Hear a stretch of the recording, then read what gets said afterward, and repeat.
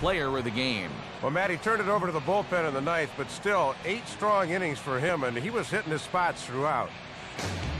So that will just about do it. For Dave Campbell, Eric Karros, and all the folks back in San Diego, I'm Matt Vasgersian saying thanks for joining us here tonight.